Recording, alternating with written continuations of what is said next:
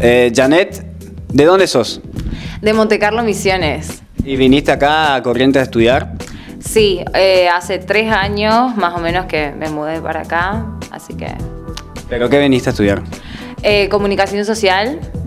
No, yo salí, yo salí del secundario y me vine directamente a vivir a Corrientes.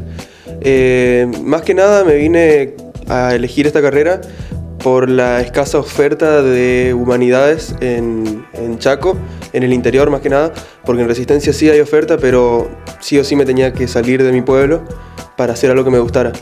Y elegí periodismo y comunicación social porque era lo que más se adaptaba a, lo- a mis gustos, a mis intereses. Si no, podía ir a hacer algo en una universidad privada en Buenos Aires o algo así, pero no me daba el presupuesto. Si vos, Janet, también estuviste decidida a estudiar esto, Uh, mi historia es un poco más complicada, gente. ah, sé. pasaste por otras carreras, estudiaste otras cosas. No, no estudié en otra cosa, pero el tema es que tenía un montón de cosas en la cabeza.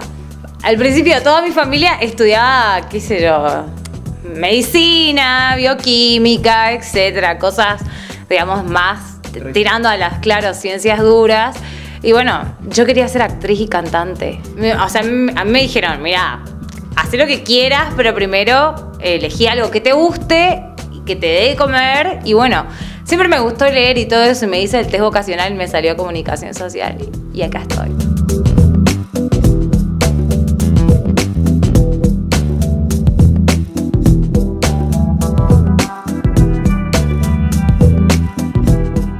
Te conoces con todo el mundo toda tu vida y cuando te vas es como que realmente no sabes cómo es el mundo exterior porque conoces a todo el mundo. Entonces cuando te vas a otro lugar es como todo nuevo, todo diferente. O sea, en mi pueblo no había nada, no había ni cine ni nada.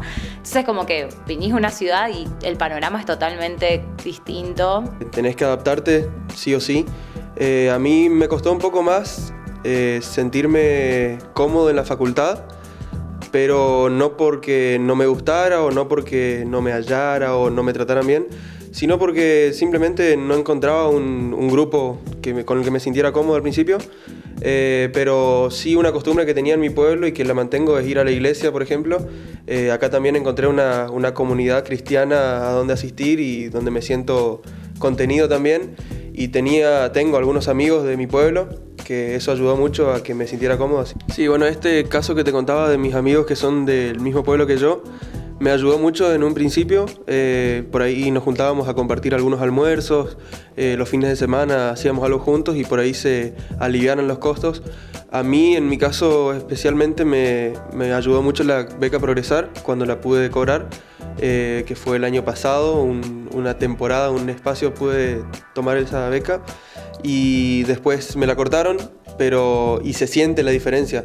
Aunque uno dice son 700 pesos, pero eh, es como que un poquito ayuda, es un impulso, un estímulo económico que, que sirve mucho, la verdad.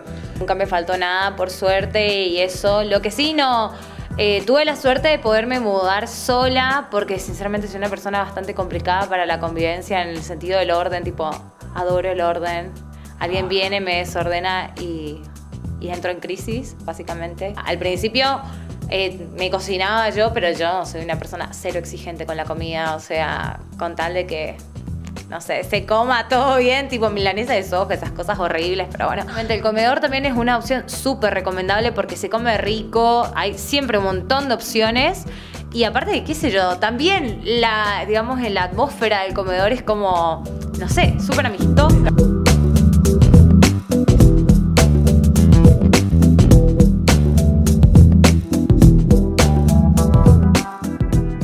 La Facu, ¿cómo van? ¿Qué les parece? Pues le, les- ¿Le fue para bien? ¿Le abrió un poco la cabeza? A mí, a mí en particular, por ejemplo, o sea, a mí siempre me gustó eso del periodismo, que es como que tiene todo un, digamos, un background atrás, algo que no se sabe, que tiene toda una lógica especial, que normalmente la gente dice, ay, pero qué fácil es ser periodista, te sentás detrás de una cámara y, eh". no es así, gente. Tiene muchas cosas muy complicadas y muy específicas que uno tiene que seguir Y bueno, a mí, por ejemplo, me, me, gusta mucho. Aparte, soy una persona como que empatiza al toque con la gente y es como que me gusta saber, me gusta conversar, entender otras realidades. O sea, yo creo que la carrera en sí te rompe un poco el esquema de lo que se conoces como vida normal y empezás a, entender otras realidades, otras formas de pensar hasta otras ideologías políticas, de todo. Aparte, yo creo que en mi caso, mi carrera me hizo mucho más, eh, digamos, abierta de mente y creo que es algo muy importante en estos días creo yo. Me parece algo interesante. Bueno, y a Joel le quiero preguntar algo que también estuvimos preguntando el programa pasado, que es, bueno, eh, en todas las carreras universitarias tienen un lado social, que es cuando uno ya como profesional va y hace su aporte y devuelve a la sociedad todo lo que ella le dio.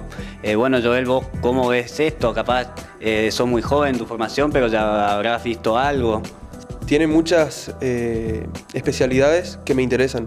desde el punto de vista científico, con un campo académico muy grande, eh, a veces un poco complicado por el presupuesto asignado de parte de Nación, pero también desde lo que es la docencia o desde la comunicación institucional, son cosas que me interesan mucho y por ese lado me gustaría eh, abocarme. Pero por ahora soy joven y todavía quiero dedicarme a la capacitación, eh, la especialización académica. Eh, creo que tengo un par de años más todavía de, flexibilidad con eso. Eh, y por ahora mis viejos me pueden mantener desde lo económico, pero cuando tenga la posibilidad de trabajar, me gustaría hacerlo acá en Corrientes. es un lugar donde hay muchas áreas donde poder meterse laboralmente y nada, me gusta, me gusta Corrientes en ese sentido.